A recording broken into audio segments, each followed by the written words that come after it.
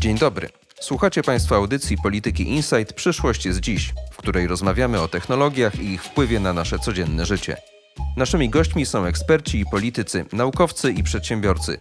Wspólnie zastanawiamy się, jak sztuczna inteligencja, roboty, drony, biometryka czy internet rzeczy zmieniają społeczeństwo i nas samych. Partnerem audycji jest Orange Polska. Zapraszam do słuchania. Marek Świerczyński.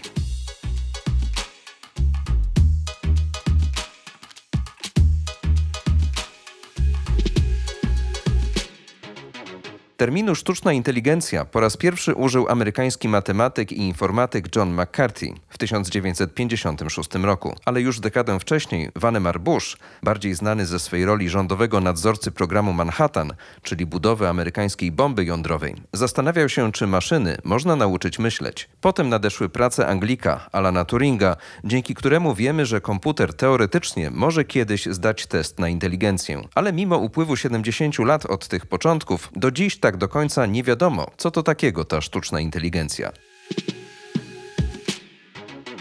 Nawet naukowa i akademicka sieć komputerowa, w skrócie NASK, czyli jedna z najstarszych w Polsce instytucji zajmujących się cyfrowym światem, nie ma gotowej, spójnej definicji. Specjalistka od cyberbezpieczeństwa Magdalena Wrzosek mówi, że AI to termin wyjątkowo szeroki i pojemny. Coś, o czym wszyscy mówią, a nikt nie wie jeszcze, czym jest do końca. Nie ma jednej definicji, na którą wszyscy moglibyśmy się zgodzić, jeżeli chodzi o sztuczną inteligencję. To jest w ogóle takie bardzo pojemne hasło, w które wszystko można upchnąć. Tak? Dlatego pewnie tak działa nam na wyobraźnię, że z jednej strony trochę przypominają nam się takie filmy z lat 90., gdzie mamy tego robota, który z przyszłości tutaj atakuje człowieka. Tak? Z drugiej strony takie wynalazki, które czasami są tam pokazywane na różnych konferencjach i trochę też nas elektryzują, jak na przykład robot Sofia, tak, który potrafi mówić, potrafi coś tam zrobić i to jest takie niesamowite, że jakby maszyna przyjmuje tutaj trochę postać człowieka i może właśnie dlatego to jest mylące, bo my często tą sztuczną inteligencję wyobrażamy sobie jako właśnie maszynę, która nas zastąpi albo będzie tak bardzo człowiekopodobna, że wyprze nas w ogóle, zacznie za nas jakieś zadania wykonywać, a tak naprawdę to chodzi po prostu o nowy rodzaj technologii, który w jakiś sposób ma nas wspierać. Roboty, supermaszyny, myślące komputery, wszystko kontrolujący Matrix. Hasło sztuczna inteligencja narzuca nam obrazy z filmów science fiction, ale naukowcy radzą, by na chwilę wyłączyć wyobraźnię. Profesor Jacek Leśkow jest dyrektorem NASK-u, a wcześniej przez kilkadziesiąt lat był badaczem i wykładowcą akademickim, również na Uniwersytecie Kalifornijskim, w wiodącym ośrodku badań nad sztuczną inteligencją.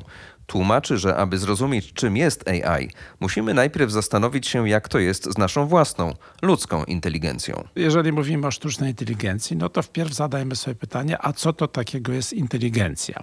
W jaki sposób na przykład małe dzieci uczą się, prawda, nabywają tych podstawowych zdolności, na przykład orientacji w przestrzeni, jak my się uczymy obcego języka, prawda, jakie procesy tutaj można od strony jakby inżynierskiej wyodrębnić. I z tej perspektywy dobrze jest patrzeć na sztuczną inteligencję jako na systemy decyzyjne. Analiza obrazów to jest po pierwsze systemy do przetwarzania cyfrowego źródeł typu wideo, potem stawiania na tych właśnie zbiorach danych, olbrzymich danych, pewnych wzorców i sprawdzanie, czy to, co aktualnie jest w obrazie, no, jest zbieżne z tym wzorcem, czy nie.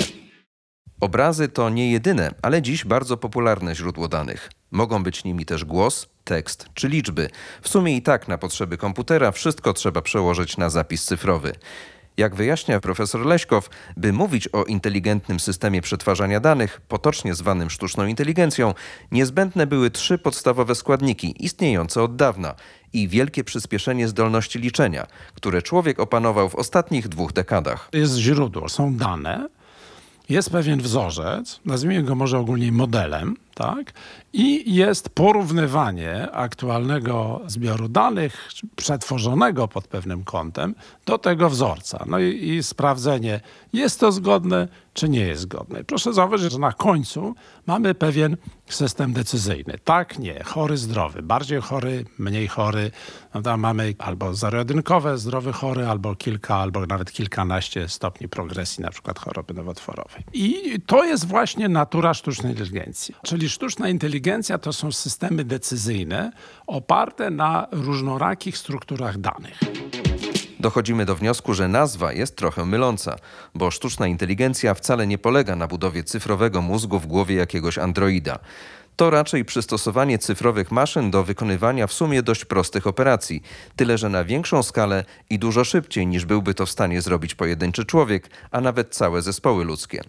Tak to widzi Izabela Żmudka, która zajmuje się sterowaniem badań nad sztuczną inteligencją finansowanych z budżetu państwa przez Narodowe Centrum Badań i Rozwoju. Na początku było to podejście takie, że chcieliśmy, żeby sztuczna inteligencja odtworzyła nasz umysł i próbowaliśmy tak jakby w krzemie wykuć inteligencję, ten kierunek został zarzucony na rzecz tego, że po prostu sztuczną inteligencję definiujemy teraz jako ta, która uczy się sama.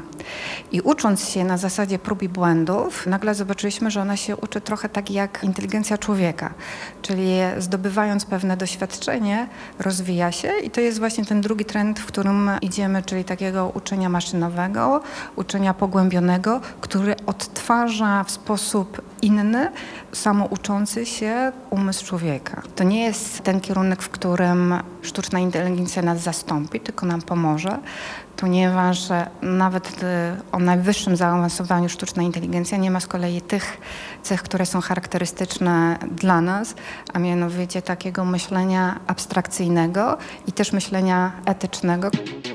O ile do tej pory chodziło o to, by maszyny robiły za nas pewne rzeczy szybciej i wydajniej, dzisiaj coraz częściej zwraca się uwagę, by robiły to z wyczuciem.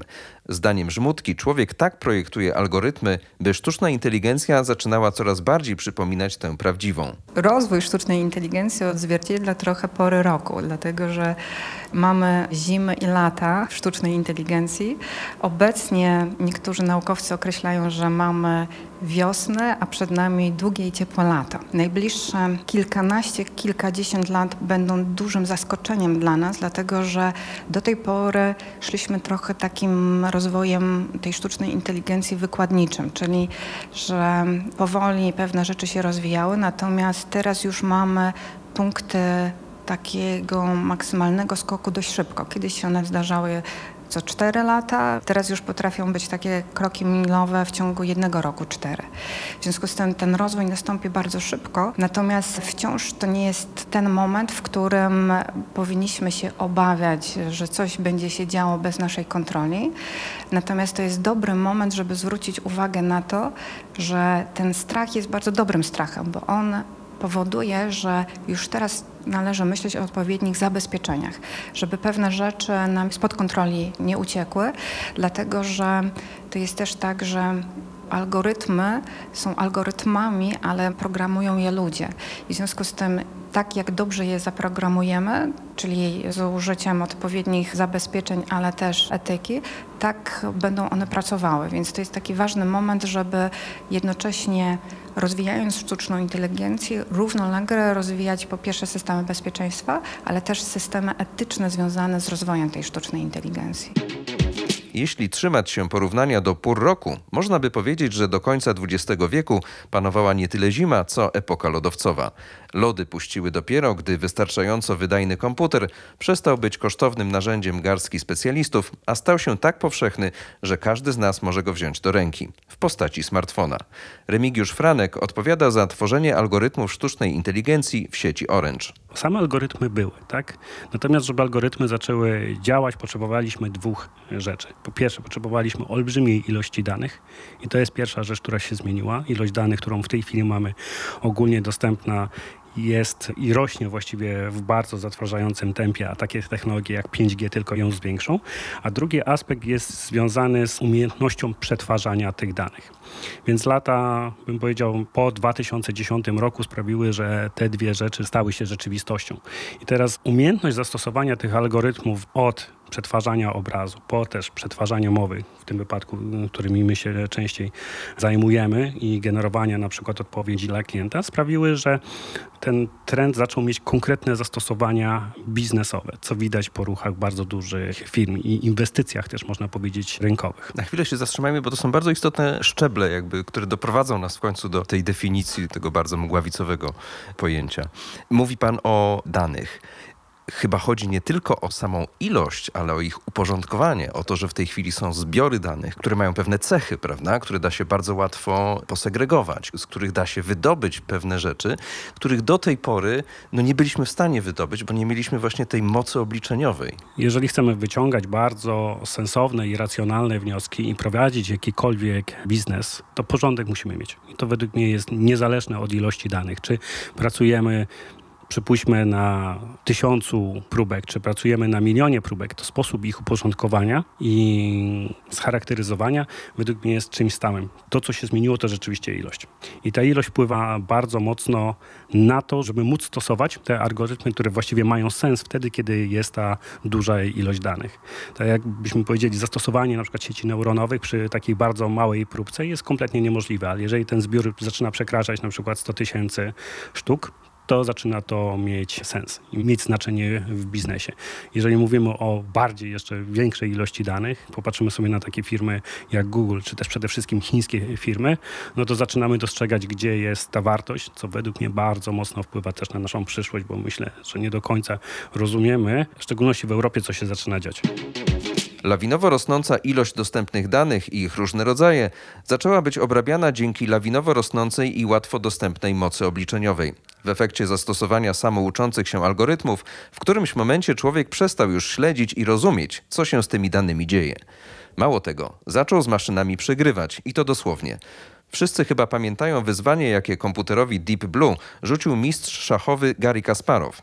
Izabela Żmudka przytacza przykład innej gry, znacznie bardziej skomplikowanej od szachów, w którą zaczęły w końcu grać same maszyny, bo człowiek przestał się w tej grze liczyć. Słynny pojedynek Gary'ego Kasparowa z Deep Blue polegał na tym, że za pierwszym razem to wygrał człowiek, za drugim razem wygrała maszyna, dlatego że zobaczono, jakimi technikami posługują się ludzie, przeliczono to, zobaczono, gdzie są słabości maszyny i w drugim rozdaniu już to było bezkonkurencyjne. Natomiast ta gra, szachy pomimo faktu, że są ambitne, nie są aż tak ambitne jak Go, który jest podawany jako o wiele bardziej zwielokrotnionych rozwiązaniach.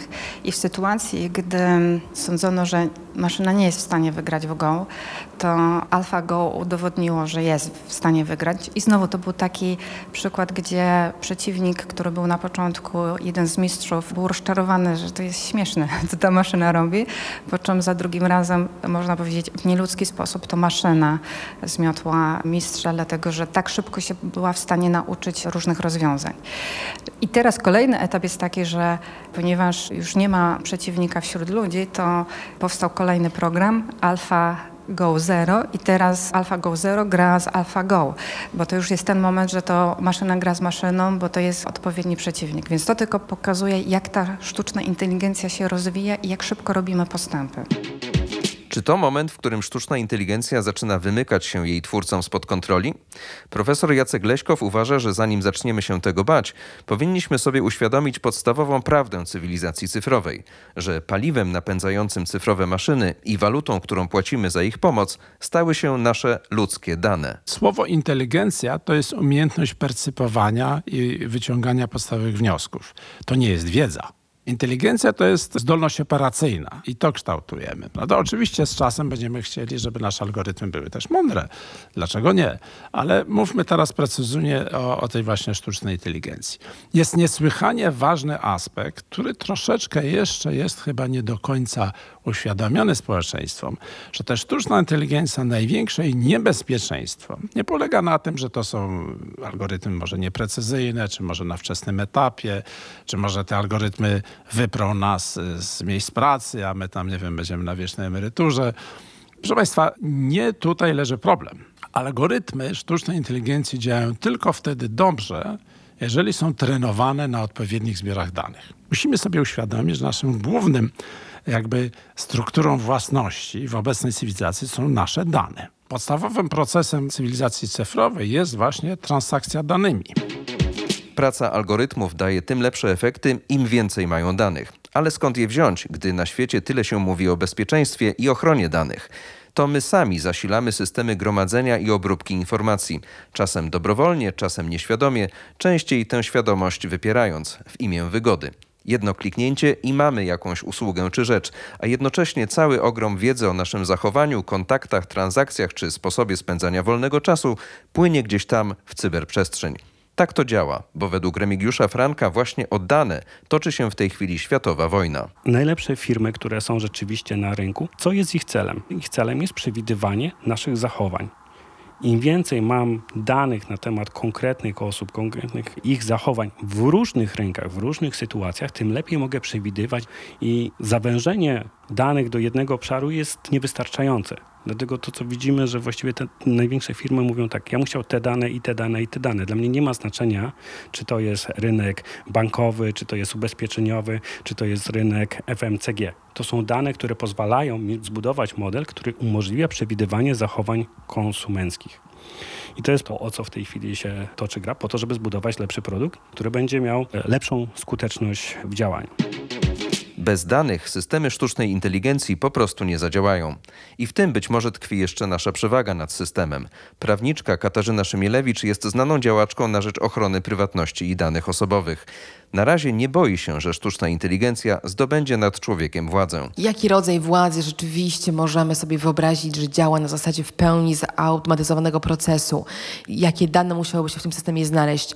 Nawet gdybyśmy podpięli swoje mózgi, ciała, wszystko co produkujemy, procesy biochemiczne pod system, który uczy się, obserwuje je bez przerwy i ma za zadanie nas zoptymalizować, ma za zadanie nas zautomatyzować.